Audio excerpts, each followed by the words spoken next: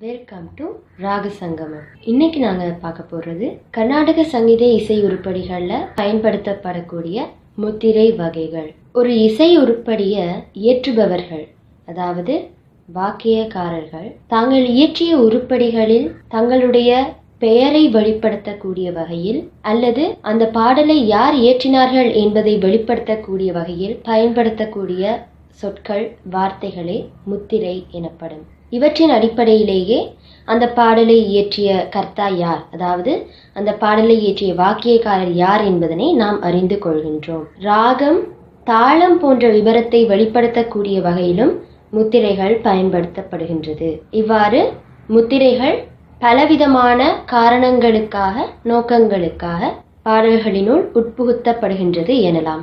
உதாரணமாக தியாகராஜ என்ற முத்திரையை கேட்டவுடனேயே எங்களால் அறியக்கூடியதாக இருக்கும். அது ஸ்ரீ தியாகராஜ சுவாமிகளால் பாடல் இயற்றப்பட்டுள்ளது. வெங்கடேச என்ற முத்திரையுடன் இருக்கக்கூடிய பாடலை இயற்றியவர் பட்டணம் சுப்பிரமணிய ஐயர் என அறிய முடியும். இவ்வாறு ஒரு உருப்படியை கேட்டு அதில் வரக்கூடிய முத்திரை வார்த்தைகளை கொண்டு அதனை இயற்றியவர் யார் என்பதனை அறிய முடியும். இந்த முத்திரையினை அங்கிதம் எனவும் கூறுவர். இந்த பாடலினுள் முத்திரைகள் புகுத்தப்படும் பொழுது அவை அந்த பாடலினுடைய சாகித்ய அர்த்தத்துடன் முத்திரையினுடைய அர்த்தமும் தொடர்புடையதாக அமைந்திருக்க வேண்டியது மிகவும் அவசியமானதாக இருக்கின்றது.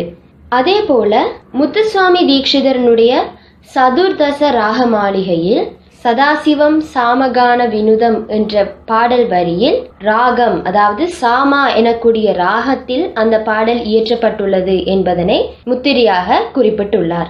ராமசாமி தீட்சிதரனுடைய நூற்றி எட்டு ராக தாள மாளிகையில் வரக்கூடிய தாள முத்திரைகளும் கூட அந்த பாடல் என்ன தாளத்தில் உருவாக்கப்பட்டுள்ளது என்பதனை அறியக்கூடியதாக உள்ளது.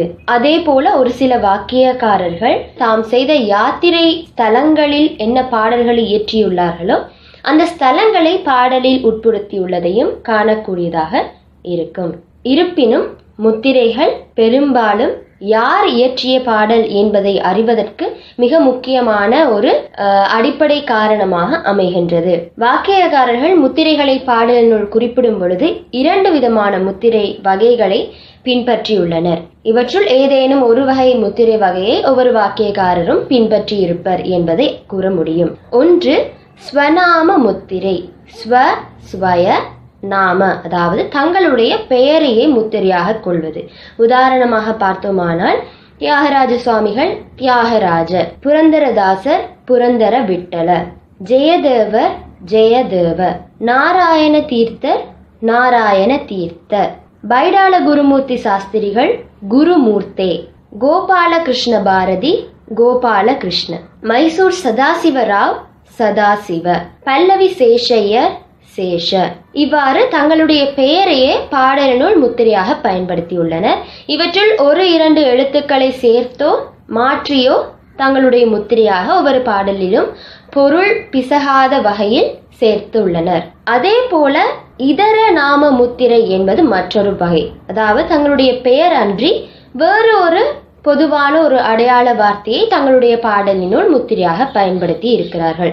உதாரணமாக சுவாதி திருநாள் மகாராஜா பத்மநாப எனக்கூடிய சொல்லையும் முத்துசுவாமி தீட்சிதர் குருகுக எனும் வார்த்தையையும் சேக்திரக்ஞர் முவ்வ கோபால என்றும் வீணை வரதையா அதிகாபுரவாச எனக்கூடிய சொல்லையும் சுப்ராய சாஸ்திரிகள் குமார என்றும் வீணை குப்பையர் கோபாலதாச எனக்கூடிய சொல்லையும் பட்டணம் சுப்பிரமணிய ஐயர் வெங்கடேச எனக்கூடிய வார்த்தையையும் தங்களுடைய முத்திரையாக இதர நாம முத்திரையாக பயன்படுத்தி உள்ளனர். இவற்றிலும் ஒரு சில வார்த்தைகள் ஒரு சில சொற்களை சேர்த்தும் மாற்றியும் அல்லது இவற்றை ஒத்த வேறு ஒத்த சொற்களையும் பயன்படுத்தி தங்களுடைய முத்திரைகளை பாடலினுள் உட்செலுத்தியுள்ளனர்.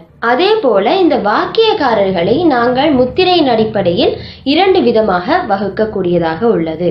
ஒன்று ஏக முத்திரைக்காரர் மற்றியது பகுமுத்திரைக்காரர். ஏகமுத்திரைக்காரர் என்பது வாக்கியக்காரர் ஒருவர் தன்னுடைய உருப்படியில் ஒரே முத்திரை பதத்தை ஒரே முத்திரை சொல்லை பயன்படுத்தி இருந்தால் அவர் ஏகமுத்திரைக்காரர். உதாரணமாக சங்கீத மும்மூர்த்திகள் மூவருமே ஏகமுத்திரைக்காரர்.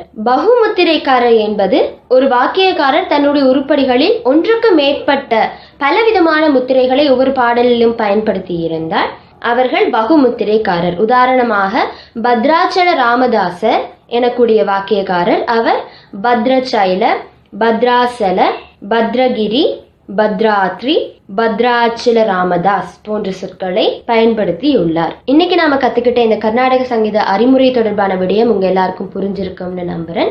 இதே போல இன்னும் ஒரு வீடியோல உங்க எல்லாரையும் சந்திக்கிறேன். இந்த சேனல் உங்களுக்கு பிடிச்சிருந்தா சப்ஸ்கிரைப் பண்ணுங்க. பக்கத்துல இருக்கிற பெல் பட்டனையும் கிளிக் பண்ணுங்க. இந்த வீடியோ யூஸ்ஃபுல்லாக இருந்துச்சுன்னா லைக் பண்ணுங்கள் ஷேர் பண்ணுங்கள் நன்றி.